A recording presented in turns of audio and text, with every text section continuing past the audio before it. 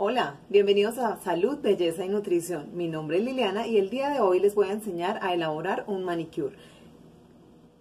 Bueno amigos, y como vieron el título de acá abajo, les voy a enseñar la técnica de cómo elaborar este manicure.